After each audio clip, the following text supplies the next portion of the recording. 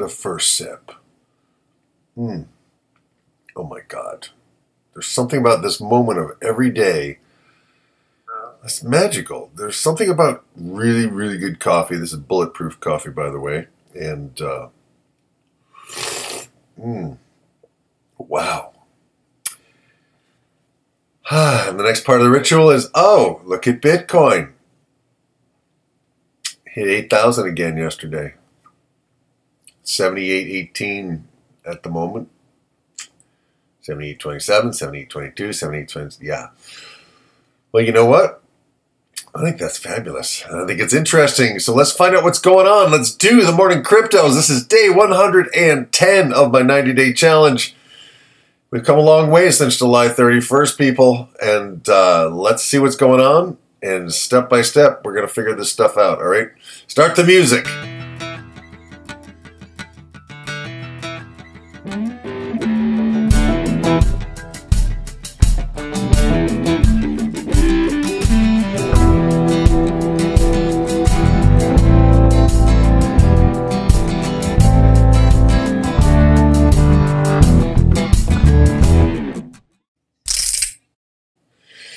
And let's see here. Let's look at the Bitcoin price news. Uh, I've seen a couple of these that Bitcoin investors will not sell until the price nears 200,000. Uh, Bitcoin adds 41 billion to the market capitalization in six days as it hits all-time high of 79.98. That was one hour ago. See how 79.98 is so much more interesting than 8,000? I don't know why. But $100 Bitcoin, 100 wait, $100 Bitcoin, Japanese Japan Post Bank CIO blast bubble value. So, okay. Whenever it makes new highs, right? Then the news is all about it's going to keep going or it's going to crash, right? Or this is the best thing since sliced bread or this is a fraud, right? So you have that and uh, welcome to the human family, people. I'm not particularly interested in any of those today, uh, but I'm interested in seeing what's going on because this is all I've looked at. I wanted to look, I wanted to peek while I was getting my thing set up. I wanted to peek at the others, but I didn't because I think it's I think it's worth. I want to share this with you guys because this is what I do, and I don't just do it in the morning. I do it pretty much throughout the day, and I'm getting a sense when you pay enough time and attention to something, you begin to get to know it a little better. And there are things I've learned about Bitcoin, so it doesn't surprise me when we have these big retracements. There may be some news, it may be news driven, but it almost always happens. And the thing is that has been really indicating that there is something about Bitcoin in the in the mind of the masses that are starting to come in they don't understand or know necessarily about all the other cryptos. They they've heard of Bitcoin. They've there's like 12 really good documentaries that you can just go to YouTube or Amazon or Netflix and watch. Curiosity Stream, whatever. There's there's documents documentaries about it that really do a good job of igniting the idea. And and particularly people who are in the financial markets, they there's nothing else that has a run up like this, and so they're coming in, people. The Chicago Mercantile Exchange, the CME, is coming, and uh, that has been confirmed, and uh, they they're swearing it's going to be before the end of the year, the end of the quarter, and we're about halfway through the end of November. We're halfway through November, so it's coming soon. So, for the people that are just buying and holding, the transaction times and the expenses of the fees are not as much of an issue, right? Uh, and hopefully, the scalability of Bitcoin will not cause it to fall like a house of cards. However, don't underestimate, and this is again, people, why I call this the hypnosis of money. And I promise I will get to the other charts immediately, but I just wanted to talk about when Bitcoin gets to a new high, the hypnosis piece is that it consolidates at a certain price, and that becomes the normal price. The same thing is happening. Like I bought two sandwiches for myself and my girlfriend last night before we uh, did our little job at the our local food co-op, and uh, you know they were warm roast beef sandwiches, but it, it was twenty bucks, right? We have forgotten that two sandwiches used to cost ten bucks. Do you know what I mean? That process is happening everywhere. Buddy and Buddy and I went out for dinner on Tuesday, and we both had meatloaf for God's sakes, and it was twenty three dollars each for meatloaf, right? And uh, so we become used to things. We become normalized to things. It's kind of the way the human mind works. There's so many things that your mind has to deal with that there's certain things that it's better to let your unconscious mind handle, and we become unconsciously accustomed to new prices, right? And that's why the central bank has been able to get away with it for so long. I read someplace that if you start with in 1913 when the central bank started, the dollar, what the dollar would buy then was a pair of shoes.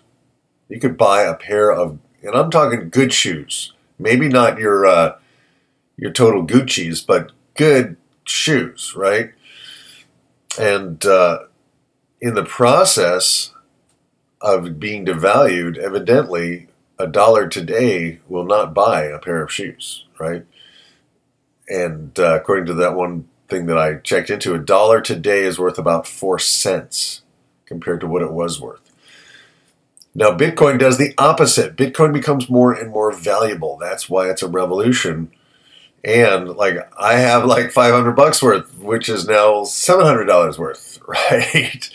Uh, and I'm not complaining. I think that's great. I just can't I can't use it because my my particular payouts came to me from my mining contracts in small little chunks, and it would cost me an inordinate amount to bundle those together and send them. So I've changed my payouts to Dash because I can actually buy Bitcoin with Dash, but in larger chunks so that it doesn't have that problem should I choose to. But at the moment, I think what I have is plenty because if it does all fall apart like a house of cards, I don't have all my eggs in that one basket. So I really highly recommend that you don't just look at Bitcoin and you don't just look at Bitcoin Cash, that you look at at least you know, you, you find 10 really good projects of other coins that are up and coming that are in the beginning of their rise. Because I think this is going, we're going to see so much money come into this space that Bitcoin is not going to be the only one that has significant price increases. So that's my opinion. And it's only the opinion of someone who has been absorbed in this and obsessed with it since February of 2017 is when I really started. And then I got I got serious about doing videos every single day to kind of document this process on July 31st. So anyway, that's my story. That's and I'm sticking to it today. Bitcoin is at 7795 at the moment. Uh, US dollars, 7,795 US dollars. And when I started buying Bitcoin in February, it was basically a thousand bucks, nine hundred, somewhere in that range. So that's been a huge run up, but it just seems normal. Do you know what I mean? It doesn't seem like we're in historic times because it's just us every day, but this is historic, people. This is significantly historic and Bitcoin weathered a pretty solid attack by Bitcoin Cash and bounced back. But it's not the actual Bitcoin that's bounced back, it's the idea of Bitcoin in people's minds. Do you understand? The hypnosis of money. The idea of Bitcoin in people's minds is so much more powerful because of the years. The years. Look at this. I mean, What can I do all time? I want to do all time. Let's let's go to one month, one month charts. Whoops. Well, this chart only starts in 2014. That's that's the problem. But look at this, really. You know, but there was a long tail to the other side here. there was a long tail here where it just kind of was doing nothing. Why is my. Oh, Jesus. Okay, fine. Screw it. I'm not going to try to do anything with the dumb drawing tool. Oh, jeez. Oh, come on! and I can't even switch. Come. Jeez. There's something funky going on with this chart. Okay.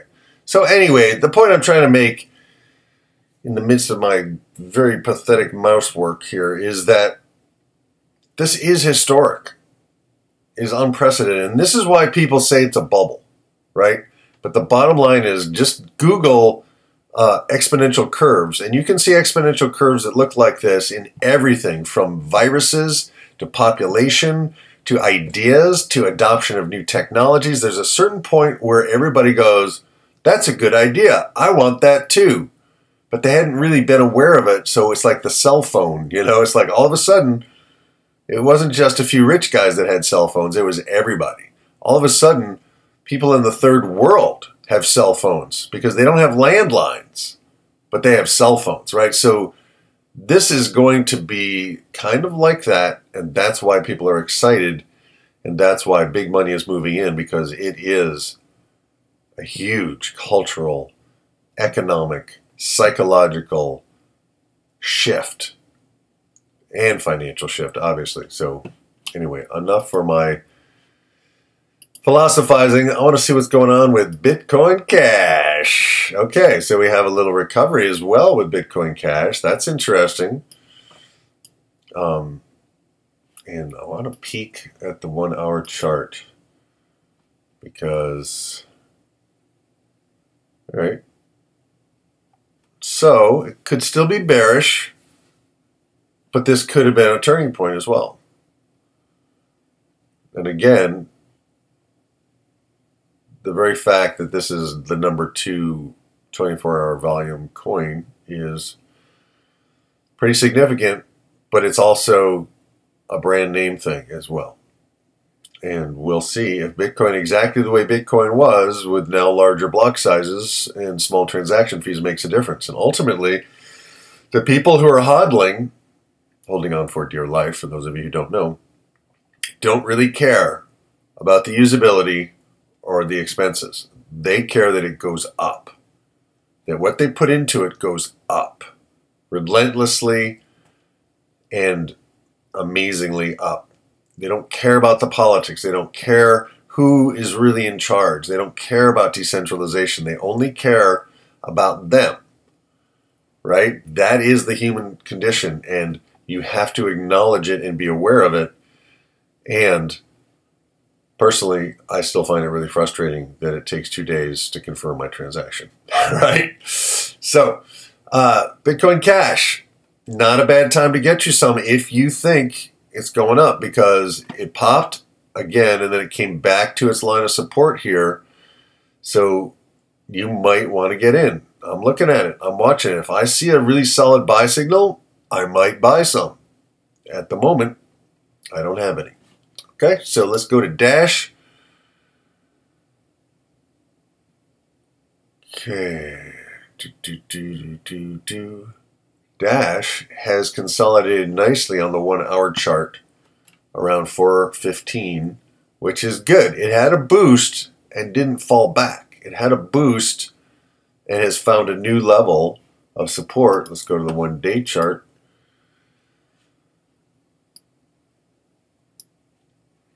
Um, yeah, so I'm looking at it and I'm paying attention to it, and I have some, and it kind of looks like our support is in the 416, between 416 and 412 kind of range. And uh, currently it is at 417. So if Dash comes down to this like 395 point, but kind of holds, that could be a buy signal for its next level. So pay attention to that. Keep an eye on that. Let's go to EOS. One day chart. EOS had a nice move and is now consolidating a little bit. Let's look at the one hour chart. And EOS again is the beginning of the project. It is called been called the Ethereum killer. So, you know, in in two years, this might be as big as Ethereum. It might be bigger. Who knows? And Ethereum seems to be plagued with problems, depending on who you listen to, or it seems to be, you know, just going through scaling challenges if you listen to other people. So, EOS, good project to keep an eye on. And look at on the one hour chart, higher bottoms, even though there's there's some up and down in, not just a straight boost. That's actually better than straight boosts. The steady up and down and that's sweet. And what is the trend? The trend is your friend going up. Right? Although these two bottoms look like they're about the same, so keep an eye on that. And these tops are a little lower, so I'm going to keep an eye on that. What I would like to see is more like this. Actually, but look at this. This top is higher than this top, and then it went higher. So EOS just may kind of do that. So, you know, again, we're looking at patterns here. We're looking at, as a musician, this to me is no different than audio waves, right? And if you tune into it, and I sometimes just, sometimes I don't like to admit this, but sometimes I'll go to the one minute chart or a three minute chart and I'll just watch to get a sense of the rhythm. I mostly do that with Bitcoin because it has more volume for those smaller time increments. You know, but it's it's something that gives you a sense. You don't want to totally make all your decisions on that unless you're, you know, doing day trading. In which case day trading, you know, you're in and out all the time, but that's too much work for me. So to just play with the different time things, and I find one hour tends to be a pretty good one, and uh, 12 hours sometimes can be pretty educational, you know. So you kind of come here, come here, come here, lad. You know, and that that's looking pretty good on the 12 hour chart. So that's EOS. Let's go back to the one day. Boom. And let's go to Ethereum. Ethereum. Ethereum. This is nice. It's pretty, pretty nice and up in its channel. Uh, and I would definitely like to see it break out. We'll see if it does. Let's look at the one hour chart, which is pretty good to look at Ethereum. So on the one hour chart, we do have support here at 321 ish. Again, this is all approximate. I'm not a numbers guy, people. I'm an approximate guy. And we also have higher bottoms. We have a little lower tops. So this could be a wedge, not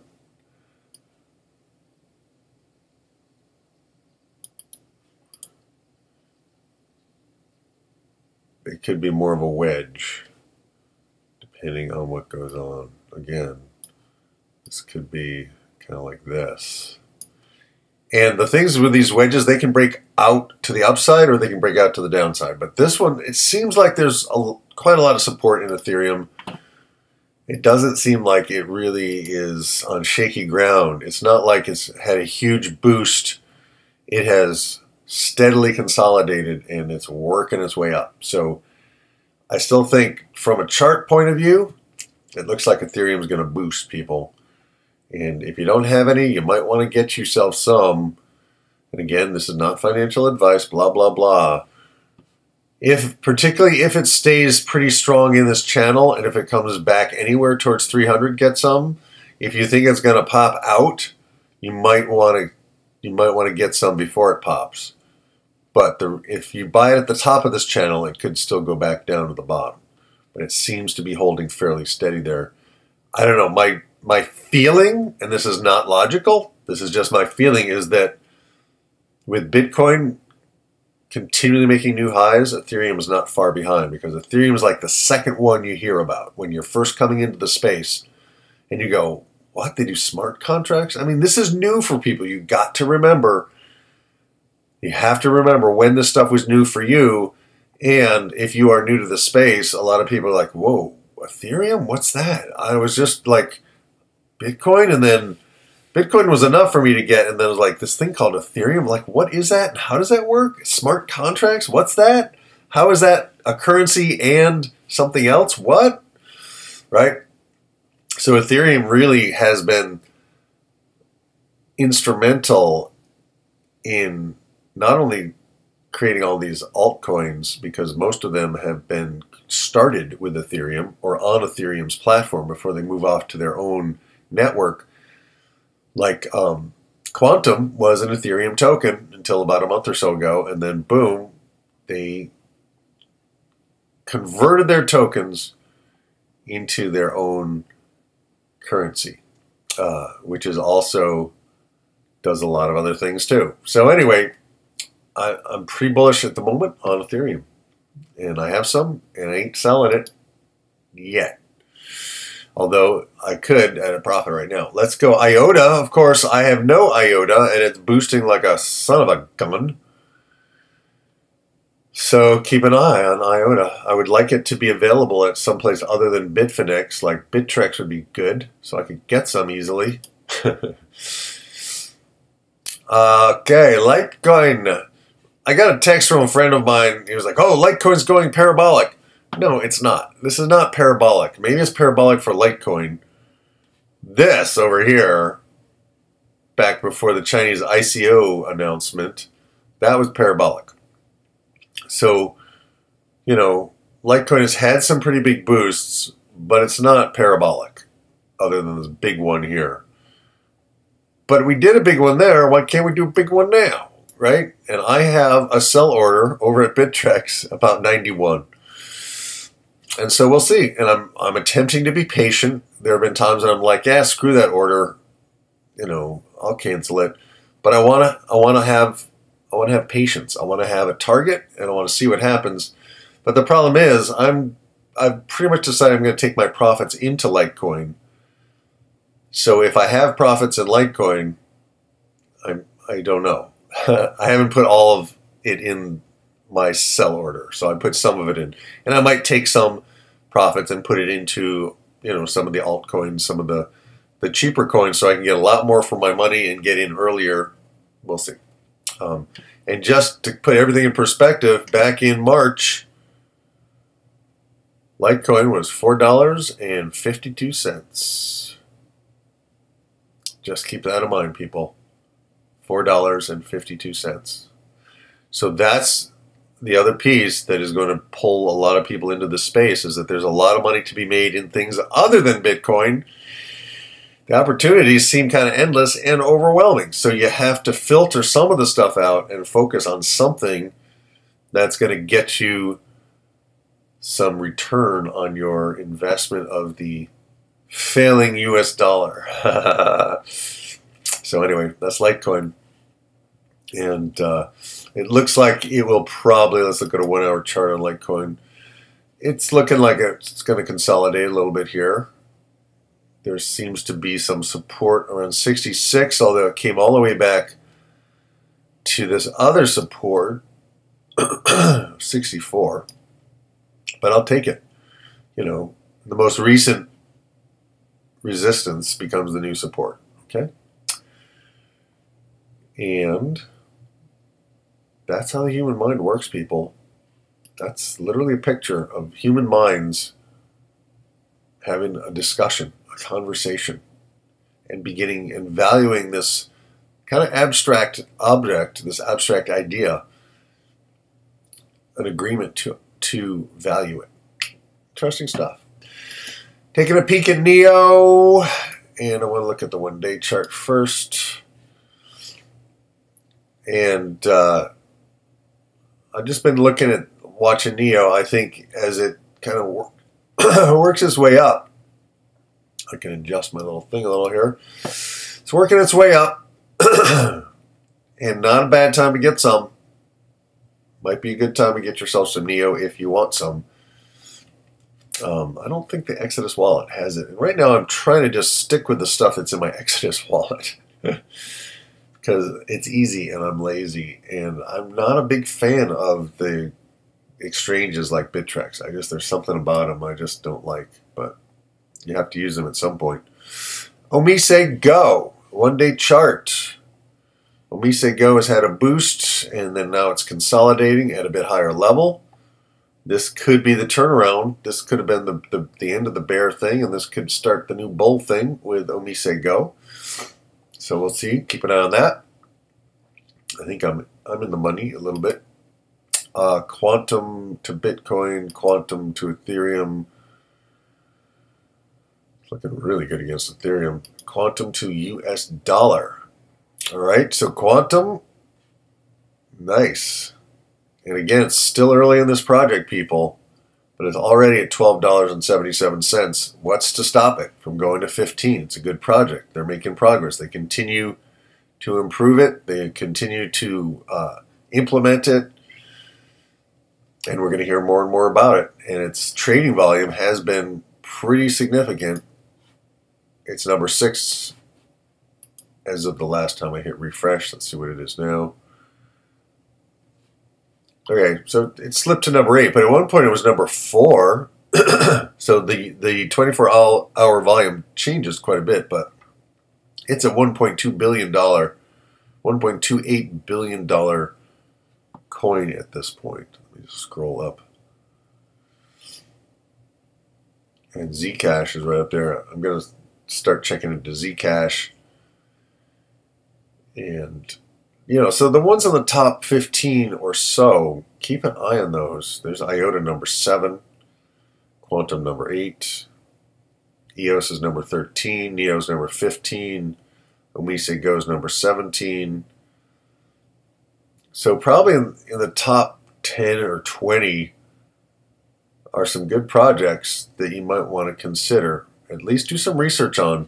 Start watching interviews with people you know, you have to have a sense in yourself of what you believe in. No one else can tell you, you know, oh, this is good. Although I got into Qtum on a tip from uh, Ryan over at Crypto Grinders.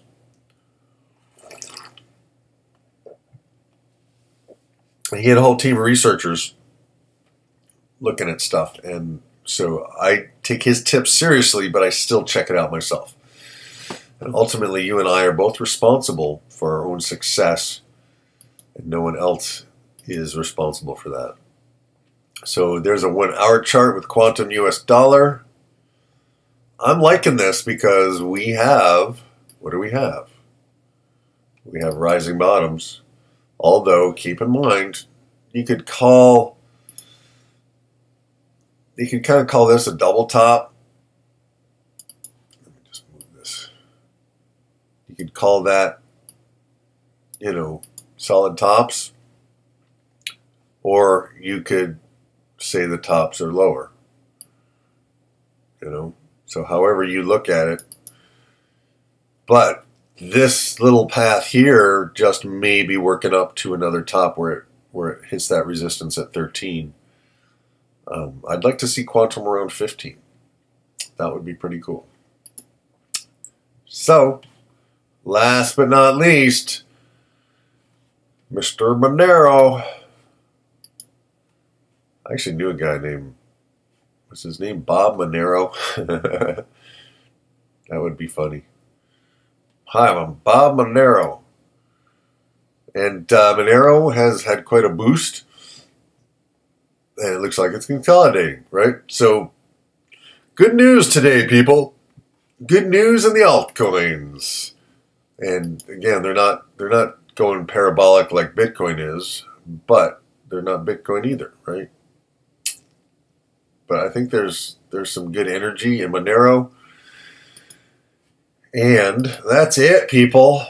I will be adding some other coins and doing some specials on other coins, but at the moment, this is what I'm focusing on. This is what I'm paying attention to. I've been reading up a little bit more on the uh, basic attention token so you might want to Google that.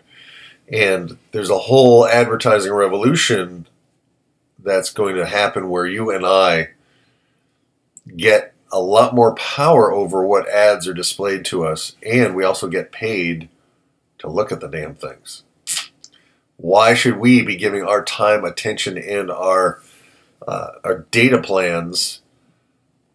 You know, it costs us money those ads. And there's a uh, a new browser called Brave, which I've downloaded on my laptop, which is a uh, a part of the whole basic attention token kind of ecosystem. And on Brave, there are no ads. They block the ads. The basic browser blocks the ads. It's amazing, and it's so much faster. Uh, I will be switching over to Brave on my uh, my desktop probably over the weekend. Um, and uh, the only thing is my password manager doesn't work on it, so I have to kind of, you know, figure out how to make that transition less annoying for myself. But so far, I really like Brave, the browser. So go to brave.com. I'll put a link below here um, and check that out. And other than that, I've got a busy day today. My girlfriend and I are going to schlep down to New York City.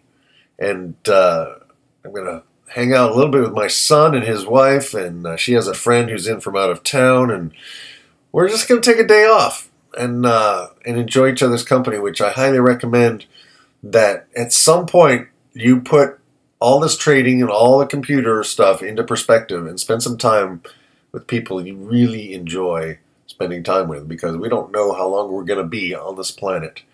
And making money should be a part of your life purpose and plan. It shouldn't be the only thing, in my opinion. That's my opinion. Uh, money has never excited me the way this is, excites me, and it's not the money, it's the progress, it's the movement. It's like our brains are so hardwired for this that it just feels really good. It's the same. It's the same process that I feel as you guys have. Uh, I've had more and more new subscribers, and I love you guys and welcome. And if you like what I do, please give me a thumbs up. Please hit that little bell so you get notifications. And uh, I really, I really appreciate you guys showing up and allowing me to kind of share my journey with you and to to have you guys comments really mean a lot, and I appreciate your comments and trying to figure out what's really going on with Bitcoin Cash and Bitcoin, the king of Bitcoin, uh, Bitcoin, the king of cryptos, and uh, it's just a lot of fun. And so let's keep everything in perspective, and let's continue to increase our net worth in the process of learning. I love to be paid to learn, and I love to be paid to do these videos. And it's not by you, it's by me. I'm paying myself. And by doing these videos consistently every day, I am walking my talk. So that's really helpful for me, and I, I find you guys amazing. I love you guys, and I appreciate you very much. So that's it for now. I'll see you in the next one. Uh, check out my Better Man project if you haven't, and uh, check out my music if you haven't. And all the links are below. And uh, I have a lot of stuff for people at honesthypnosis.com. I've been 20 years working with uh, hypnosis and neurolinguistics, and I am a student of the human mind and the human emotions and the human the human psyche. And I think we are fascinating creatures. You and I are both pretty darn fascinating creatures. Let's let's do this, people. Have an awesome day. Start the music.